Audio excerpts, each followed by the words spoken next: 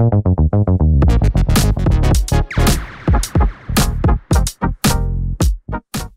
everyone, it's Nakul from Wicky. Welcome to our NFL preview with Jacob from Trypod. Jacob, we're uh, we're only looking at the uh, the two games. Sorry, we're looking at two games this week, right? Just to just get that bit. That's right, right mate. Firstly, uh, welcome home. I know you're back land down under after a big trip overseas to India, and uh, I know Big Bash is heating up, but I got to tell you, so is NFL. Now we're into the playoffs, and it's Super Wildcard Weekend. So there are six playoff games this weekend. If you allow me to cross promote, uh, later tonight, that is Wednesday night, I'm doing a playoffs extravaganza preview with Nettie, who does a lot of great NFL tipping and content through the Trypod. So we're going to touch on a heap of kind of playoff special markets and talk Super Bowl predictions. Today with you, we are going to key in on the two games that will take place Sunday Aussie times. We've got a playoff double header that kicks things off.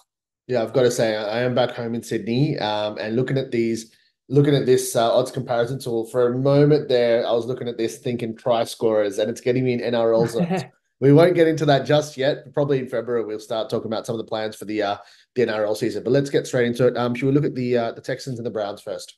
Yeah, sure. And for those scoring last week, uh, we didn't hit the value play, but you did get that double up. I suggested Jonathan Taylor did score was juicy odds on Dabble. Now we look at the Browns, who are minus two and a half point favorites at Houston. This is the battle of the coaches of the year. So, uh, in fact, Maddie, the Undertaker in our group, did tip the coach of the Browns, Kev Stefanski, 15 bucks he was about three weeks ago. He came into a dollar 10. The Browns have had five different quarterbacks this year, still won 11 games. Disregard last week because they were already locked into playoff position. They played their second string and they did lose but last week may have shifted the coach of the year market. It's not a done deal because the Texans won about three or four games, I want to say, last year. Second worst record in the league out of 32 teams. Second longest odds to make the playoffs this year. But new coach DeMeco Ryans did just that, got him in. Now uh, they've got the offensive rookie of the year QB leading the way in CJ Stroud, but Ryans did a fantastic job. So I say, even though the vote's are already in, give coach of the year to whoever wins this matchup um, that both sides have done really well. I uh, so I talked about Cleveland last week. Disregard that result. The Texans played an all or nothing game to get in and did get the win. Survived a late drive by Indy. Not only did they secure their spot, then they went on to watch a day later. The Jags get upset, which propelled the Texans to division champions and uh, got them a home playoff game for this one, which is certainly an advantage but they are still well, depending how you're looking at, it, they're a young upstart team with nothing to lose, a very energized city, and um, that could make them quite fearless. But uh, by the same token, they're not as experienced as most of the other sides that are in the playoffs. And I do think the experience of the Browns might get them home. I also think the fact that the Browns elite unit is no doubt their defense that travels. That being said, Cleveland has had a couple of struggles this year and played some higher scoring games than they were on the road. But to be fair, I still think the Browns have the best defense in the league. Uh, some will look at the matchup that between these two just three weeks ago. They played in Houston and the Browns won by 14 points. But you've got to take that with a grain of salt because CJ Stroud was out. Uh, of course, he is back now. It gives Houston a very real chance, but I don't feel they're the same team since they've lost Tank Dell to injury. So that's why I do like the Browns. I would lay the two and a half, and I'll look for a Browns player to have the first touchdown. Of course, the story of Cleveland is that the fourth quarterback that they found this season was Joe Flacco, Flacco off the couch, and he has turned back the clock. And he loves he loves a couple of his players. One of them being Amari Cooper, but Cooper is only back this week off a heel injury. And when it's a do or die game, you don't always know is he fully fit or is he just gutting it out because you know it's it's the playoffs and it's win or go home. So I don't want to back Cooper. I want to back uh, Flacco's other favorite target, which is David Njoku, the tight end, and he's had a career year. So Nakul's highlighted him there. Twelve fifty for first touchdown.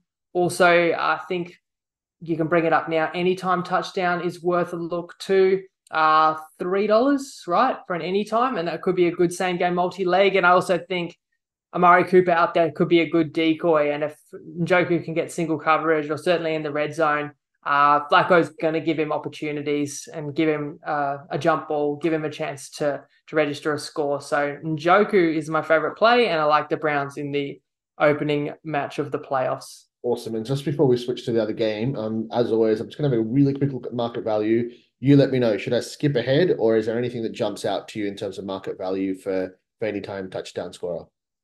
I'll tell you. I think as we discussed in our NBA chat just before, there's a couple of gremlins in there. Um, I was looking at the list of games and like not all the opposite opponents were necessarily correct. And you look even here, we've got um player name double ups and and opponent Detroit. Um, yep.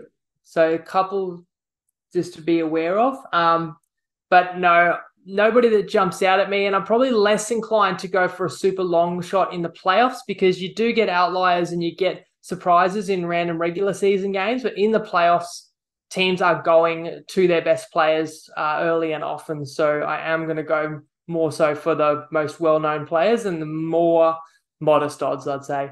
Awesome. Not no stress. Um, and the other game that we are going to look at is the Dolphins at the Chiefs. There we go. There's too many this, games in here. We've got to clean yes, this up. I'll let you You've go. got it there. Uh, it's also a rematch they played this year. In fact, they played in Germany and it was a oh, fluky wow. game. I tell you, the Chiefs jumping out to a 21 0 lead, that was really on the back of their defense. And then the defense just held on in the second half when the Chiefs didn't score again, but they held on to win by a touchdown. I do like the Chiefs to get it done again, mainly not so much because they won the first time, but because they're the better rested team. They actually got the win last week with nothing to play for, but they played essentially the Bees uh, in LA. Whereas the Fins had it all to gain and lost a brutal one against Buffalo, which uh, relegated them from what would have been a two seed all the way down to six seed and a road game that they didn't want to be involved in. And after the season they've had, they shouldn't have uh, found themselves uh, needing a wild card to play in the playoffs. Now, the narrative around the Chiefs, who are the Super Bowl defending champions, is their receivers are hopeless, and and that's that is a true narrative. Uh, I've talked about that this year, why I wanted to bet around the Chiefs in the AFC, but when your wide receivers have been so bad, I do feel like that leaves some upside because I do feel like guys can have a good game here or there. When you've got the best quarterback on the planet, uh, he can if he can just give the guys a chance, if they can actually snare a couple of balls in this one, then I think they could win pretty well. So the Chiefs, three and a half to a four point favorite at home. I do like them again. I like the favored team. And I will actually back a Chief wideout for the first touchdown. In this game, I'm going Rashee Rice at 1150 for you found in there what was that 255 anytime again not a bad uh, same game multi-leg and for first td i think we'll find 1150 the odds comparison tool is showing us best price now miami can score for sure uh, couple of questions. I mean, they've got injuries across the board. Um, but we, we know for sure that the defensive line, the pass rush is, is decimated for Miami. And if it wasn't for turnovers and clock mismanagement by Buffalo, I think that Miami would have been lit up even worse last week. And that was at home. Now you're going into Kansas City. You've got Mahomes off a week rest. You know the Chiefs have got a point to prove. I mean, they're the champs, and this was most likely their only home game of this playoff. So I think they're going to come out strong. And again, I'm looking at Rashee Rice. If you do go back to any time touchdown, I mean, the other guy that I strongly considered is Isaiah Pacheco. And you can see he's um, under $2 most bookies, but 218 on Sportsbet. Again, you could definitely throw him in because gets uh, the lion's share of carries at running back, but also Mahomes loves to look for him in the pass game, and he is an explosive uh, weapon well, too. So interesting thing with Pacheco, I, I, can't say um, can't say much about the tip, but I will say something about the price. And as you would know, after looking at the odds comparison tool for a few weeks now, it's really, really uh, like not common to see the favorite for a market 15% higher on one bookie than the others. So Pacheco being $2.18 there, he's a dollar ninety or less on the three other bookies that we've got. So um yeah, sounds like a, a good value pick a little bit like last week, like Taylor was a dollar eighty two. Mm. Anytime. It's like some people think that's too short to really call it value, but when he was a dollar sixty or lower everywhere else, like that can be one of the best value bets available. And I could actually see Miami if they get behind, they could really get dump trucked here. So uh, I think that, yeah, Pacheco, I mean, I wouldn't talk you out of a uh, same gamer that has Pacheco and Rice uh, yeah. both registering TDs in this one either. Awesome. Okay. Well, yeah, I'm back home, so I've got a lot more free time. So I'll have a look at these and probably get on myself. It's a it's a good way to finally start watching and and, and getting into it. But um, as always, guys, Google Wicky Linktree, the podcast that we're doing now, the odds comparison tool you can see on your screen, everything else, our Discord, our socials, all free to check out from Wicky. Just Google Wicky Linktree, um, and obviously Trypod Punters Tips Forum. More than twenty five thousand people on there awesome tips for a whole bunch of sports. Um, from our point of view, um, or from my point of view personally, I'm back in Australia, so I'm enjoying watching the BBL every night. The BBL is heating up as heating up as well. I've been putting some tips out on um on the Trypod Facebook group as well. So check us out, and uh, we'll catch you next week.